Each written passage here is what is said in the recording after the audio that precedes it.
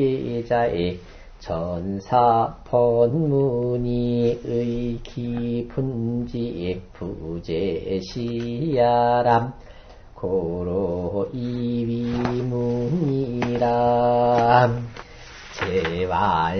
제왈태제라 문이여 공자 이시 방충마리 방이독 유지여 본구로 대기문하님 개특기본즉 예지전체 무불제기중의람. 예여기사야론 영검이요 상이여 기이야론 영척이니라. 이는 치아니 맹자왈 이기전주라하니 세상이 즉 젊은 습수기 무애 통 참달지 실자야람 척즉 이러에이 문부족이람 예귀 득중하니 사이즉 과어문이요. 검척즉 불급이 지리니 이자에게 미합리남 연이나 범불지리 필선유 필선유 진리 후에 유문즉 질대 예지 본야람 범시왈 부제 여기 경부족이 예유여야룬 불약예 부족이 경유여야옴 상여기에 부족이 예유여야룬 불약예 부족이 애유여야님 예실지사하고 상실지는 개불능 반분이 수기 말고야람 예사이비의 불약거미 불비지유야오. 상이문이 불약척이 불문지유야님 검자는 물지지리요 척자는 심지성구로 위예지본이람 양시왈 예는 시저 음식구로 와주니 부미러님 미지폭의 편두 뇌작지식은 소위 문지야니 즉히 보는 검이람 상불가이 경정이 직행이니 위지 최마 고용지수는 소위 철지야니 즉히 보는 척이란 주세의 세방 이문멸지리 임방이 독능분 예지 본구럼 부자 되지 부지차람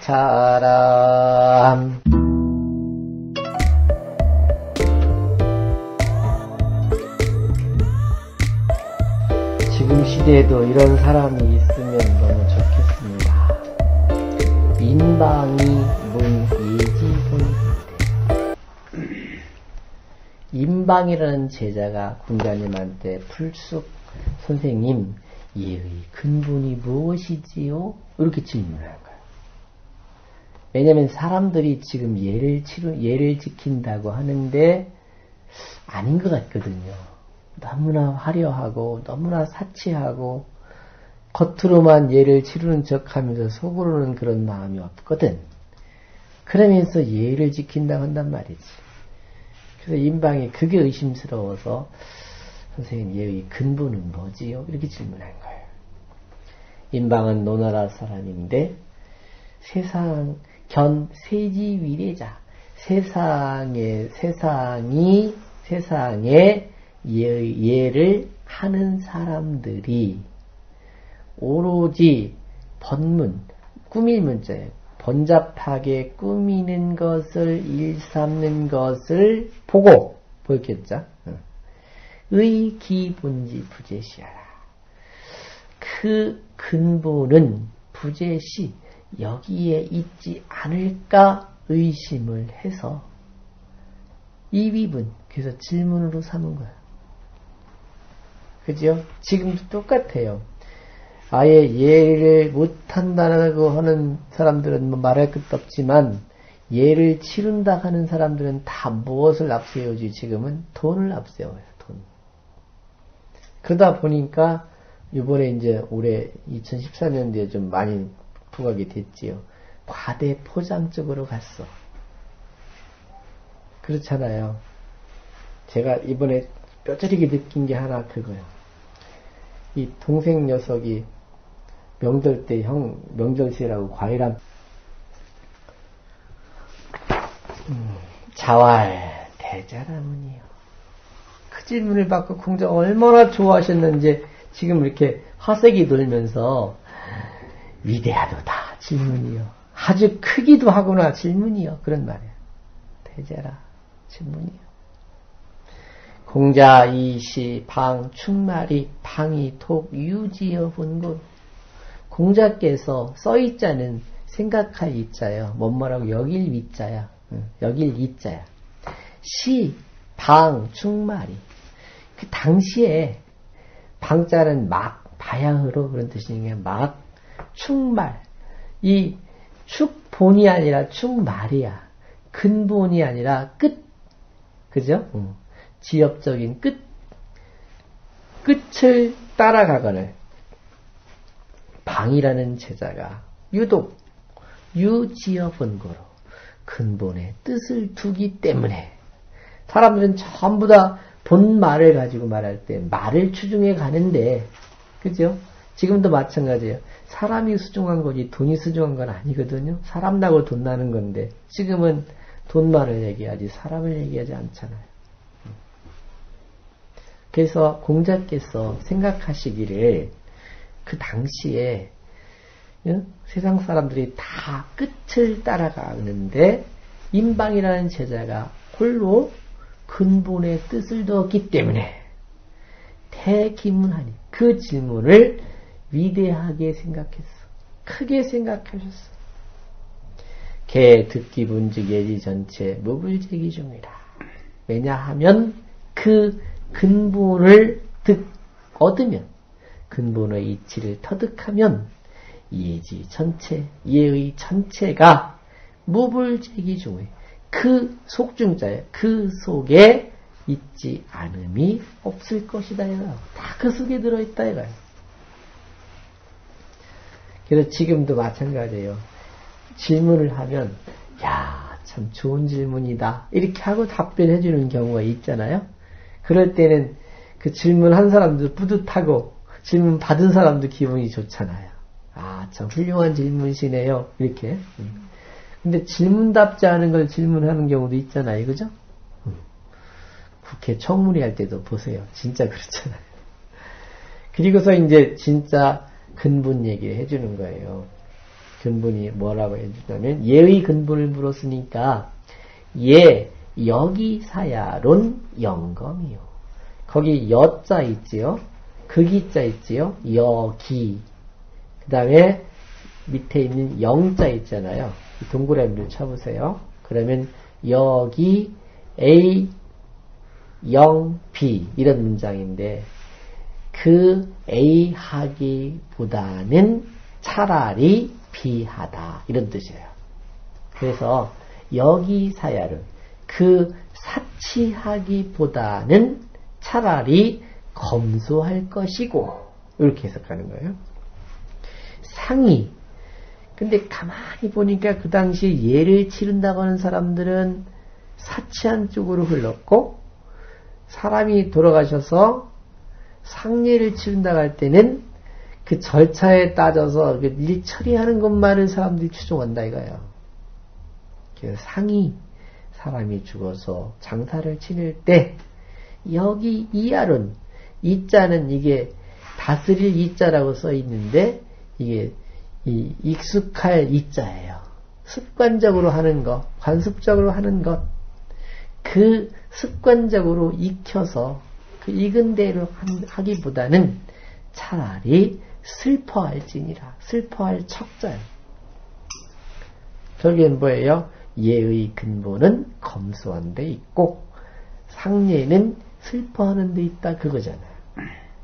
그런데 예를 치른다고 검소하지 않고 사천 쪽으로 흐르고 상, 장사를 치른다고 하면서 절차와 절차를 따지는 쪽으로만 흘러간다. 슬퍼하지 않고 희죽거리면서 지금도 그렇지요. 음. 여기 쓰인 이자는 역으로 안 읽고 이로 읽어요. 이는 치 다스릴 치자니 다스릴 치자로 쓰였던 그 이자의 용례는 맹자에 보면 이기전주라 했어요. 그 밭전자 주자는 밭두둑 주자예요. 그 밭과 밭두둑을 다스린다라고 하는 거기에 쓰였던 이자와 같다 이거예요. 그러니 제 상예 즉 그 상예는 젊은 습숙이 젊은은 이게 젊은은 절차에 따라서 꾸미는 거고 습숙은 익숙해진 거예요. 익숙해져서 무애통 참잘지 실제라. 얘를 따지는 자리가 주로 어디지요? 대체로 상례 초상 치를 때 얘가 있느냐 없느냐 그런 걸 따지잖아요. 그리고 또 결혼을 시킬 때 얘를 따지고 그죠? 음. 주로 그러다 보니까 사람들 눈에 띄는 것은 상례를 치를 때 얘가 맞느니 틀리느니 따진단 말이지. 그러다 보니까 여기서 얘가 사치하기보다는 차라리 검소할 것이고 분명히 질문은 예의 근본에 대해서 물었는데 그지요? 그런데 상이 여기 이하로는 영착이니라 그랬거든. 그죠? 음, 그 의미를 그렇게 이해하시면 될 것 같아요. 그래서 제 상리의 즉 초상을 지을 때의 그 예는 젊은 습숙이 사람들을 보니까 그 절차에 따라서 꾸미는 꾸며서 거기 익숙한 쪽으로만 흘러가지 애통 참달의 실상은 없었다 이거예요.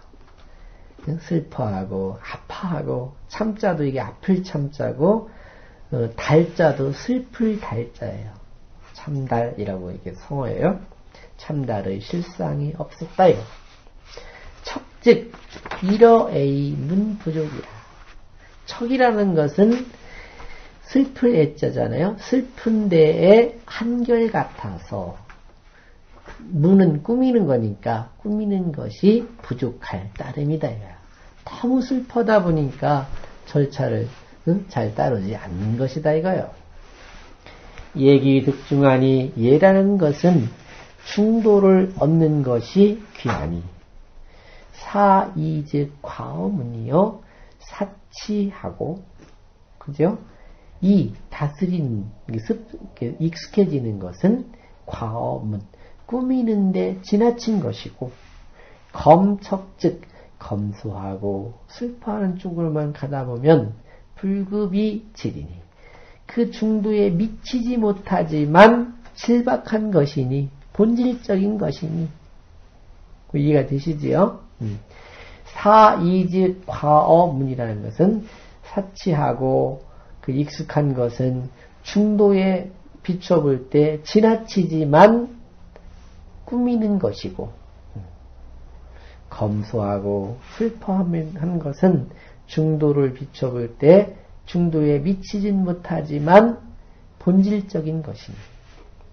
이자, 개, 미, 합례나 이 두 가지가 다 그러니까 사이하는 것과 검척하는 것이 다 미합례 예에 합당하지는 못해 딱 맞지는 못해 그러나 범물질이 무릇 사물의 이치가 필선 유질 이후에 유문즉 반드시 먼저 본질이 있은 뒤에 유문즉 꾸밈이 있게 되는 것을 보면 꾸밈이 있으니 진례 예지 보내라. 그 본질적인 것이 곧 예의 근본이 된다 이거예요.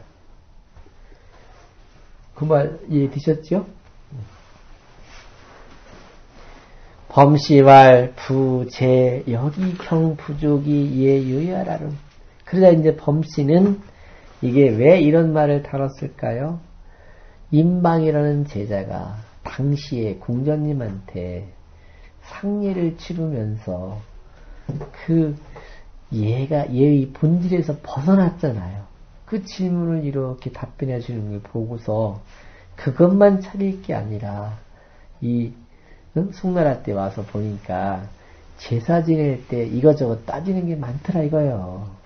그때 그 자리도 예, 예가 맞느니 틀리느니 따지는 게 많잖아요. 그거를 짚어준 거예요. 범시 잔주에서. 범시왈 부재 여기 경부족이 예유여라. 범시가 말하되 무릇 제사를 지낼 때 그 공경하는 마음이 부족하면서 부족하기보다는 얘가 남음이 다시 말할게요. 제사를 지내면서 그 공경이 부족한데 예라는 건 따지는 질서지요. 따지는 순서지요. 이것저것 따지는 거. 그것이 남음이 있는 것보다는 풀약, 예 부족이 그 따지고 하는 것, 그거는 좀 부족하다 하더라도 경유여야 공경하는 마음이 남음이 있어야 되고 제사 지낼 때 제사의 근본은 공경하는 마음에 있다 이거. 상력이의 부족이 예 유여야는 불약이의 부족이 예 유여야니. 상사 장례를 치를 때 상사 때에 그 슬픔이 부족한 채 이거저거 따지는 예가 남음이 있기보다는 예가 부족하면서 슬픔이 남음이 있는 것만 못하다라고 하니 예 실지사고 예의를 치른다고 하는 사람들은 사치한 데에 실수를 하고 상실지이는 상례를 치르면서 그 다스리는데 아주 익숙한 데에 실수하는 것은 개 불능 반본이 쑥이 말고야라. 그 원인이 어디 있느냐 하면 다 불능 반본 근본으로 뒤집어 보지 못한 채 쑥이 말고야라. 그 끝만을 따라가기 때문이더라 이거야. 근본을 망각하고서 일을 처리하다 보면 이게 근본이 뒤집혀서 안 되잖아요. 저 위에서도 볼립 도생이라는 말을 배웠지요. 볼립이 도생이다. 세상이 혼, 혼란한 것은 본말이 전도됐기 때문에 혼란한 거지. 근본이 확립되면 혼란할 수가 없는 거 아니에요. 방금 전에 읽었던 것도 인이 불인, 즉 사람이 인, 인신, 어질인자, 인한 마음이 있으면 나머지는 다 따라오는 거래요. 그거를 무본이라고 하죠. 근본에 힘쓰는 공부. 음. 그 원인은 이제 이렇게 범씨가 딱 정리해 놓은 거예요. 왜 그렇다고요? 불능 반본이 숙이 말고야라. 근본을 뒤집어 보지 못하고 근본을 돌아보지 못하고 그 끝, 끝부분만을 따라가기 때문이더라 이거지. 예 사이비 불야 거미불비지요. 예를 치른다고 하면서 사치하면서 갖추는 것이 불야 거미불비지요. 검수하면서 갖추지 못한 것이 것만 갖추지 못하는 것이 나은 것만 갖지 못하다 이거예요. 상이문이 상례를 치르면서 그 절차라는 이런 거에 익숙해져서 꾸미는 것이 불약, 척이 불문지 위하니 슬퍼하면서 꾸미지 못하는 것이 나음만 갖지 못하니 이제 비교하는 문장 형태가 오늘 다 나오는 거예요. 무엇은 무엇만 못하다 이런 형태의 문장. 음. 검자는 물질이요 검소하는 것은 검소한 것은 물건의 물, 물의 본질이고 척자는 심지성고로 슬퍼하는 것은 마음의 참된 것이기 때문에 미이지분이라. 그게 바로 예의 근본이 된다. 해석이 조금 어렵긴 하죠. 불약이라는 말은 뭐뭐와 같지 못하다 이런 거니까 거기 문장을 한 번 더 보시면 예 사이비 예를 지킨다고 하면서 사치하고 갖추는 것이 불약 갖지 못하다 거미불비. 검소하면서 갖추지 못함이 나을 유자 나은 것만 갖지 못하다 이래. 상이문이 상례를 치를 때 이하면서 꾸미는 것이 즉 익숙해져서 꾸미는 것이 불약, 척이 불문, 슬퍼하면서 꾸미지 못하는 것이 나은 것만 갖지 못하니 검자는 물질이요 검소한 것은 물의 본질이고 척자는 심지성고로 슬퍼하는 것은 마음에 일어나는 참된 마음이기 때문에 미래지 본이다. 예의 근본이 된다. 양시왈 예는 시, 저, 음식으로 예라는 것은 마시고 먹는 데에서 시작되었기 때문에 그죠? 예라는 건 거기서 생겼다. 사람 입장에서 볼 때는 와준이 부음 이러니 와자는 구덩이 와 음. 웅덩이 와자고 준자는 이게 술그릇 준자예요. 존이라고 하니까 준을 읽어요. 이게 뭐냐면 웅덩이를 파르면 그 속에 물이 고이잖아요. 음. 그판 웅덩이를 술잔으로 생각했다 이거지. 거기서 어떻게 했어요? 와주는 거기에서 부음, 부라는 게 이렇게 하는 거예요. 손으로 이렇게. 이렇게 이걸로 떠서 마셨다 이거예요. 그죠? 웅덩이를 그릇으로, 물그릇 생각해서 거기 있는 물을 손으로 퍼서 마셨다 이거 처음에는. 그럴 거 아니겠어요. 처음엔 그랬었는데, 위지, 보괴, 편두, 뇌작지식은. 그러다가 이렇게 컵이 생겼고, 컵에다가 또 글씨도 써서 놓고, 무늬도 만들어 놓고, 모양도 바꿔 놓고 그랬어요. 화려한 그릇들의 대표가 보, 괴, 변두, 뇌작이에요. 이게 되시죠? 제사 지낼 때에 종묘 제례를 지낼 때에 이 근사한 술잔 이런 거 있잖아요. 그런 술잔들의 이름이 보, 괴, 응? 변두 다 이런 것들이에요. 장식품이 사실은 본래는 그릇이에요. 그릇. 제의 이름이에요. 제 이름인데 응. 화려하게 꾸민 그릇 이름이에요. 그러니까 뇌작의 장식은 장식 식자지요. 소위 문지 아니. 문지라는 것은 꾸미는 거예요. 꾸미기 위한 것이었으니 본래는 그릇이었는데 그 그릇을 화려하게 꾸몄다 이거야. 그랬더니 기본은 검이라. 그 근본은 검소일 따름이다 이거야.